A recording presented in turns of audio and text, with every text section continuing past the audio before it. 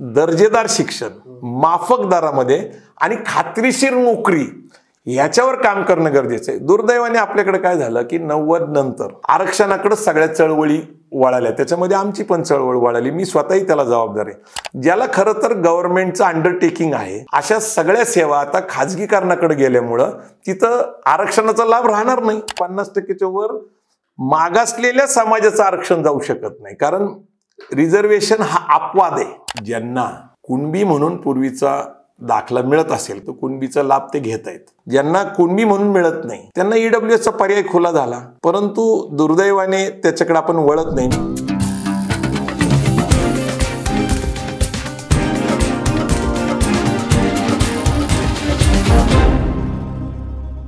आता मला सोल्युशनकडे यायचं आहे म्हणजे मराठा आरक्षण प्रश्न किंवा हा आरक्षणाचा जो वाद आहे त्यावर सोल्युशन काय?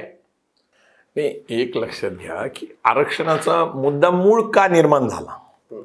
एकोणीसशे ऐंशीला कैलासवासी आमदार अण्णासाहेब पाटलांना मुंबईमध्ये गिरणी कामगार असतील माथाडी कामगार असतील डबेवाले असतील हे गरीब समाजाचे लोक जे तिथं रोजंदारी करतायत नोकरी करतायत हमाली करतायत हे त्यांच्या डोळ्यासमोर आहे.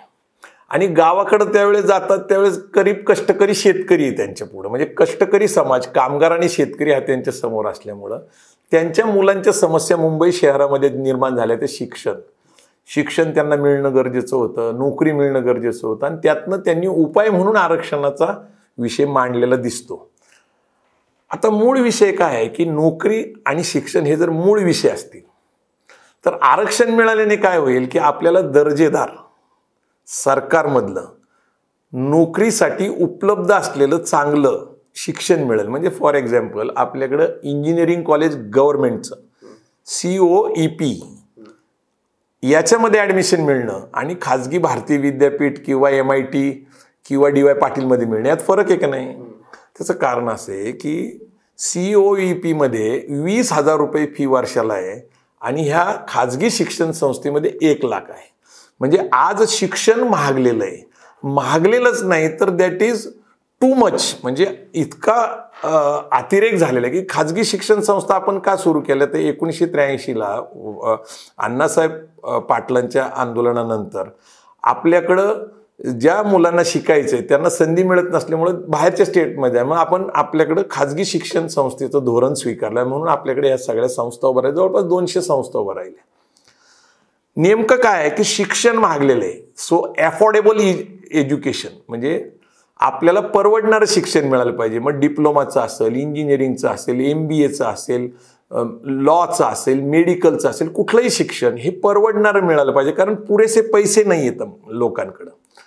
आणि दुसरी गोष्ट खात्रीशीर नोकरी मग खाजगी असो नाही तर सरकारी असो. तर उपाय काय आहे? तर माझ्यासमोर सरळ सरळ हा मी चंद्रकांत दादा पाटील राज्याचे तांत्रिक शिक्षण मंत्री आणि उपमुख्यमंत्री अजित पवारांकडे ह्या आरक्षणाच्या सध्याच्या आंदोलनाच्या पार्श्वभूमीवर मी विनंती केली की तुम्ही जे शिक्षण देत आहे ते माफक दरामध्ये द्या. मी मोफत म्हणत नाही मोफत यासाठी म्हणत नाही कदाचित त्याची किंमत कळणार नाही. म्हणजे K G to P G affordable education हा सोपा मार्ग आहे. परवडणारं शिक्षण. कारण खाजगी शिक्षण संस्थेची फी आणि सरकारी शिक्षण संस्थेची फी संस्थे ह्याच्यामध्ये प्रचंड तफावत आहे. मी उदाहरण सांगतोय तुम्हाला. पंचवीस लाखामध्ये एम बी बी एस परदेशामध्ये होऊ शकतं. आमच्याकडं खाजगी शिक्षण संस्थेमध्ये एक कोटी पाच लाखपासून एक कोटी वीस लाखाचं पॅकेज आहे. हेच इंजिनिअरिंगचं आहे. इंजिनियर व्हायचं म्हटलं तर पंचवीस ते तीस लाख रुपये खर्च केले जातात. त्यासाठी कधी शेती घाण ठेवली जाती कधी विकली जाती कधी घर घाण ठेवलं जातं आणि तडजोडी करून मुलांना शिकवलं जातं. परंतु शिकल्यानंतर आज मुलांना नोकरी मिळते का? सध्या भारतातल्या बेरोजगारांची संख्या तरुणांची चाळीस टक्के. आज साधी शिपाईची नोकरी सरकारमध्ये निघली तर पी एच डी धारक डॉक्टरेट असलेली मुलं एम बी ए झालेली मुलं हे शिपाईच्या नोकरीसाठी अप्लाय करतात. दहा दहा अकरा अकरा लाख फॉर्म येत आहेत म्हणजे बेरोजगारीचं प्रमाण प्रचंड वाढलेलं आहे. म्हणजे एकीकडं दर्जेदार शिक्षण माफक दरामध्ये आणि खात्रीशीर नोकरी याच्यावर काम करणं गरजेचं आहे. दुर्दैवाने आपल्याकडे काय झालं की नव्वद नंतर आरक्षणाकडं सगळ्या चळवळी वळाल्या. त्याच्यामध्ये आमची पण चळवळ वळाली. मी स्वतःही त्याला जबाबदार आहे. परंतु एक्क्याण्णवला नरसिंहराव पंतप्रधान असताना अर्थमंत्री मनमोहन सिंग असताना आपण जागतिकीकरण खाजगीकरण उदारीकरणाकडे वळालो. ज्याला खरं तर गव्हर्नमेंटचं अंडरटेकिंग आहे अशा सगळ्या सेवा आता खाजगीकरणाकडे गेल्यामुळं तिथं आरक्षणाचा लाभ राहणार नाही. कारण गुणवत्ता असलेली स्पर्धेतनं घेतलेली लोक तिथं काम करणार. म्हणजे खाजगीकरणामुळं मुळातच जागा कमी व्हायला लागल्या. मला तुम्हाला सांगतो की अनेक खात्यांमध्ये आता थर्ड आणि फोर्थ क्लास जो भरला जातो क्लर्क आणि खाली जे काही स्वीपर क्लास वगैरे असतो तो भरला जात नाही. ते कंत्राटी पद्धतीने भरले जातात. आता तुम्हाला सांगतो की प्राथमिक शिक्षक जिल्हा परिषदचे शिक्षक हे कंत्राटी पद्धतीने भरलेले आहेत. म्हणजे त्यांना अगदी पगार मिळतोच याची गॅरंटी नाही. आणि मिळाला तर दहा अकरापेक्षा जा हजारापेक्षा जास्त मिळत नाही. म्हणजे आपल्याकडं दुर्दैवाने ना सरकारमध्ये बसलेले जे लोक आहेत हे आता काय करतात? शेतकरी सन्मान योजना देतात. त्याच्यातनं पाचशे रुपये शेतकऱ्याला महिन्याला देतात. आणि आता आपल्या महाराष्ट्र सरकारने लाडकी बहीण लाडकी बहीण योजना आणली. आता लाडकी बहीणमध्ये ते पंधराशे रुपये देणार. आता जीएसटीचा जर हिशोब काढला तर शेतकऱ्यांना काँग्रेस सरकारमध्ये खऱ्या अर्थाने त्यांना हे मिळत होतं. काय? सबसिडीज मिळत होत्या. तर सबसिडीजमुळं म्हणजे समजा खताचं पोतं तीनशेला असेल तर पन्नास टक्के सबसिडी असेल तर दीडशेला मिळायचं. आता ते हजाराच्या पुढे गेलं खत आणि त्याला परत अठरा टक्के जीएसटी म्हणजे सर्वसाधारणपणे शेतकऱ्यांची अशी धारणा आहे की मुळात शेतीमालाला भाव नाही. खात्री नाही आहे निसर्गाची कधी पाऊस पडल कधी नाही कधी दुष्काळी अशा अस्थिर परिस्थितीमध्ये त्यांना परवडत नाही शेती. आणि दुसरीकडे सरकार मात्र प्रत्येक गोष्टीला जीएसटी लावतो. तुम्ही ट्रॅक्टर घ्या तुम्ही ट्रॉली घ्या काही घ्या. म्हणजे सर शेतीला लागणारे जे अवजार असतील किंवा खतं असतील बी बियाणं असतील त्याला मात्र ते अठरा टक्क्यापर्यंत जीएसटी लावतात म्हणजे उदाहरणासाठी शेतकरी असं सांगतात एक लाख रुपयाची खरेदी केली तर आमच्याकडून अठरा हजार सरकार घेतं आणि सहा हजार आम्हाला देतं. म्हणजे तुम्ही बघा आता ही लाडकी बहीण योजना असेल किंवा हे सन्मान यांनी प्रावलंबी समाज निर्माण केला जातो. भारत सरकार कौतुकाने सांगतं. ऐंशी कोटी लोकांना आम्ही अन्नधान्य मोफत देतोय रेशनवर. ही कौतुकाची गोष्ट आहे का? म्हणजे एकूण भारताच्या साठ टक्के लोक हे सरकारवर अन्नधान्यासाठी प्रावलंबी असेल तर सरकारच्या योजना खरंच चांगल्या आहेत का? मला असं वाटतं स्वाभिमानी स्वावलंबी समाज निर्माण करायचा असेल तर दर्जेदार शिक्षणावर पहिल्यांदा खर्च केला पाहिजे. माफक दरामध्ये अफोर्डेबल एज्युकेशन आणि सरकारने खाजगीकरण उदारीकरण जागतिकीकरण स्वीकारलं तर जागतिकीकरणातनं परदेशातले अधिक अधिक उद्योग भारतात कसे येतील त्याच्यासाठी प्रयत्न केला पाहिजे. सर मला आता आरक्षणाभोवतीच्या राजकारणाकडे यायचं आहे मुळात आरक्षणाचा जो प्रश्न आहे तो कोर्टात लढला जावा म्हणजे कोर्टात लढल्यावर त्याला यश मिळेल की रस्त्यावरून उतरल्यावर की रस्त्यावरची लढाई करून यश मिळेल? काय वाटतं सर? नाही कसं असतं कुठलीही संघटना मग ती कामगार संघटना असू शेतकऱ्यांची संघटना असू जातीची संघटना असू समुदायाची संघटना असू. प्रश्न काय आहे की लोकशाहीमध्ये एक प्रक्रिया आहे.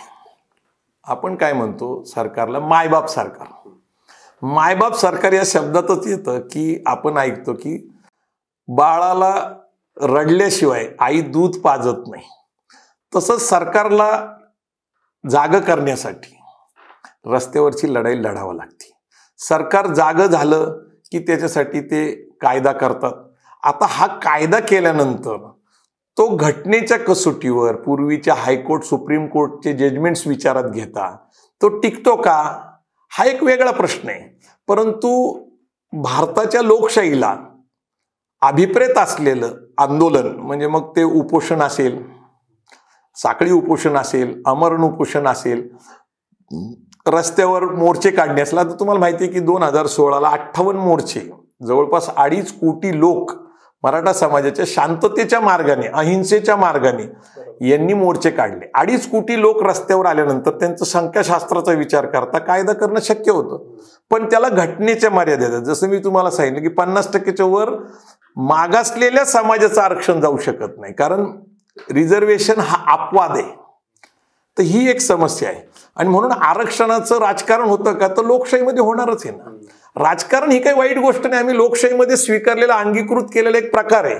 मग आपला समुदाय संघटित करणं त्याची ताकद निर्माण करणं आणि त्या ताकदीच्या माध्यमातून एखाद्या पक्ष संघटनेने त्याचा फायदा घेऊन त्याला जर न्याय द्यायची भूमिका सांगितली असेल मांडली असेल तर त्याचं राजकारण होणं लोकशाहीमध्ये गैर नाही आहे राजकारण होणार मोर्चे निघणार मागण्या होणार ही लोकशाहीची प्रक्रिया आहे. आरक्षणासाठी रस्त्यावरची लढाई लढणं हे क्रमप्राप्त आहे कारण न्याय मिळसपर्यंत ते करावं लागतं. जेव्हा मनोज जरांगेंनी आरक आंदोलन सुरू केलं तेव्हा दो दोन टोकाच्या भूमिका आल्या.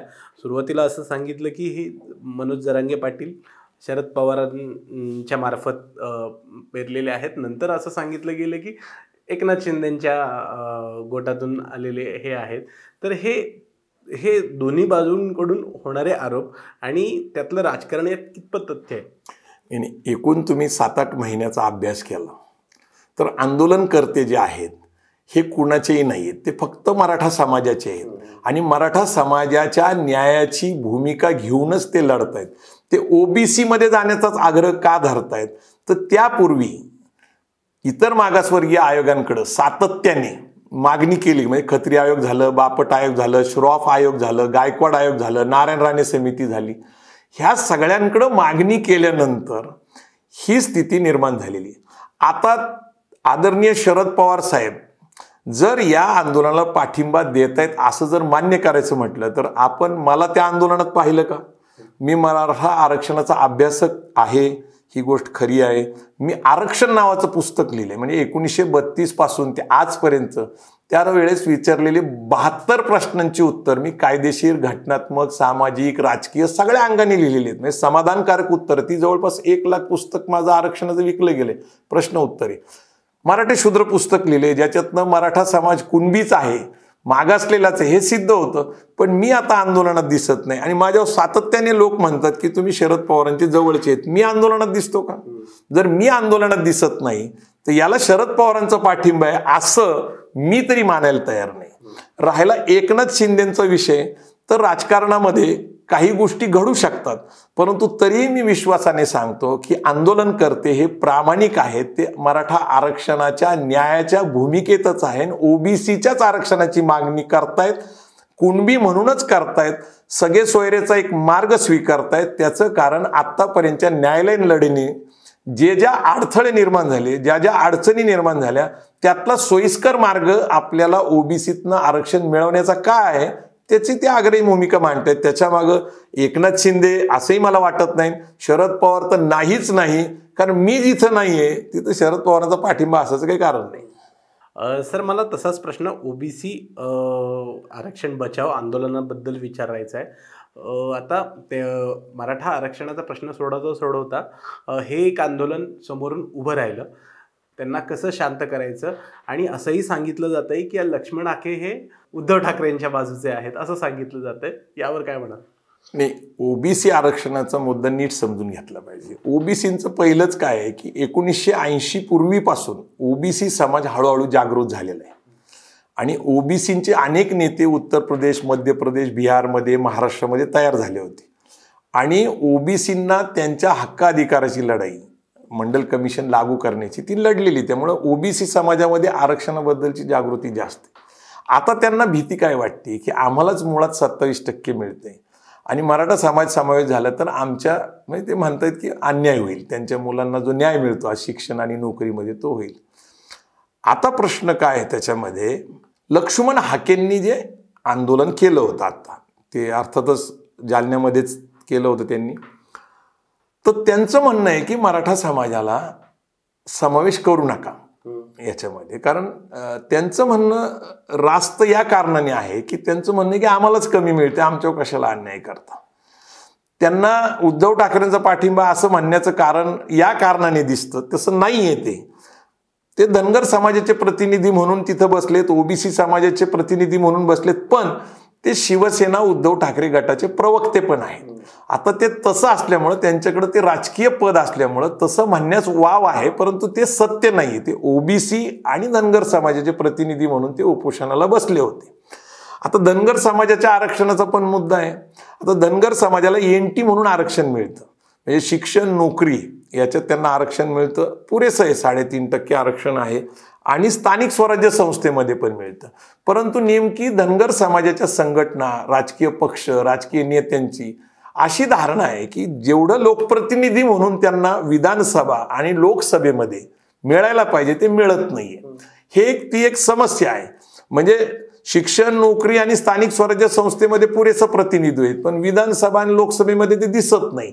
आणि त्यांचं असं म्हणणं आहे की धनगड आणि धनगर हा जो विषय आहे तो काही शब्दाचा गलत झाली. मध्य प्रदेशमध्ये त्याला धनगड म्हणलं जातं इथं धनगर म्हणलं जातं. तर त्याचा आधार घेऊन ते अशी लढाई लढतात की आम्ही शेड्यूल ट्राईब्समध्ये जायला पाहिजे. तर ते जर शेड्यूल ट्राईब्समध्ये गेले तर शेड्यूल ट्राईब्सला जे अधिक आरक्षणाचे लाभ मिळतात त्याच्यात मुख्यतः विधानसभा आणि लोकसभेचं प्रतिनिधित्व आहे आदिवासी समाजाला. त्याचाही आपल्या समाजाला लाभ मिळेल. दुर्दैवाने पंच्याहत्तर वर्षामध्ये धनगर समाजाला एकही लोकसभेमध्ये प्रतिनिधी पाठवता आलेला नाहीये. त्याचं कारण राजकीय आहे. राजकीय पक्षाने त्यांना संधी दिली नसल किंवा जाती समूहाच्या समीकरणामध्ये धनगर समाजाचा नेता खासदार होऊ शकत नाही ही त्यांची खंत आहे. आणि साठ ठिकाणी त्यांचे समाजाची प्राबल्य असलेले मतदारसंघ आहेत. तिथेही त्यांना फारसं प्रतिनिधी मिळत नाही. तर ते याच अंगाने शेड्यूल ट्राईब्समध्ये जाऊन कदाचित आपल्याला प्रतिनिधित्व जास्त मिळू शकतं. अशा अंगाने ती चर्चा चालू राहते.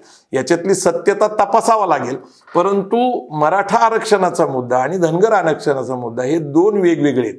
मराठा समाजाला कुणबी म्हणून शिक्षण आणि नोकरीच्या आरक्षणाची अपेक्षा आहे. कारण त्यांच्याकडं राजकीय प्रतिनिधित्व पुरेसं आणि अधिक आहे. धनगर समाजाकडं नोकरी आणि शिक्षणाचं बरोबरच त्यांना स्थानिक स्वराज्याचं मिळते. पण विधानसभा लोकसभेच्या प्रतिनिधित्वाबद्दल त्यांच्या समाजामध्ये नैराश्य आहे. त्यांना असं वाटतं आपल्याला न्याय मिळत नाही. तर असं एक वेगळं मी विश्लेषण करायचा प्रयत्न करतो. त्याची सत्यता पण तपासली पाहिजे. सर शेवटचा प्रश्न.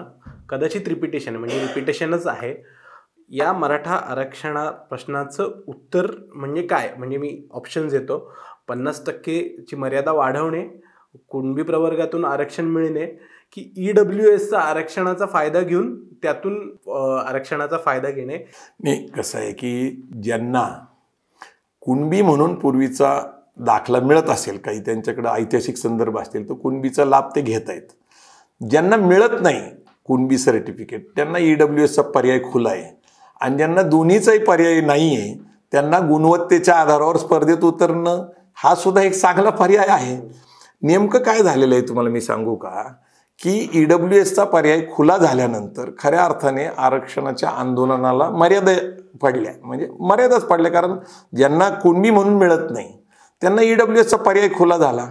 परंतु दुर्दैवाने त्याच्याकडे आपण वळत नाही. मी सध्या दोन हजार सोळापर्यंत सतत सा सक्रिय आरक्षणाच्या चळवळीत काम करत असताना मी आता कुठल्याही आरक्षणाच्या आंदोलनात नाही. संभाजी ब्रिगेड महाराष्ट्र ही संघटना सध्या आरक्षणाकडून अर्थकारणाकडं ही चळवळ चालवते. त्याच्यामध्ये तिने अशी धारणा मांडलेली किंवा एक विचार मांडलेला आहे. नवी दिशा नवा विचार. नवी दिशा नवा विचार हे आरक्षणाकडून अर्थकारणाकडे जात असताना परदेशातले शिक्षण परदेशातले उद्योग पद परदेशातली नोकरी याच्यावर आम्ही काम करायला लागलो आणि मला आनंदाने सांगावं वाटतं की आज आम्ही अहद ऑस्ट्रेलिया तहत कॅनडा अवघा मुलुक आपला या संकल्पनेतनं मी जवळपास तीनशेपेक्षा अधिक भाषणं केली. आज माझे साडेआठ हजार तरुण हे परदेशात नोकरीला गेलेत. ते गल्फमध्ये आहेत रोमानियामध्ये पोलंडमध्ये. रोज साधारणपणे तीन चार पाच आणि त्यांची एक साखळी तयार झालेली आहे. पण मराठा समाज जो आहे तो गरिबीने आज एकदम विवंचनेत आहे. अशा काळामध्ये तो आरक्षणाची मागणी करतो. ती रास्त जरी असली तरी न्यायालयीन प्रक्रियेमध्ये ती टिकत नसल्यामुळं आपण आरक्षणाकडून आता अर्थकारणाकडे जायला पाहिजे. त्या चळवळीचं मी आता सध्या काम करतो आणि त्याचं समर्थन करतो. सर खूप खूप धन्यवाद. तुमच्या या आणि चौफेर विश्लेषणामुळे अनेक कंगोवरे आरक्षणाबद्दलचे आम्हाला कळाले. तुर्तास आपण इथेच थांबू. खूप खूप धन्यवाद. जय जिजाऊ जय शिवराय.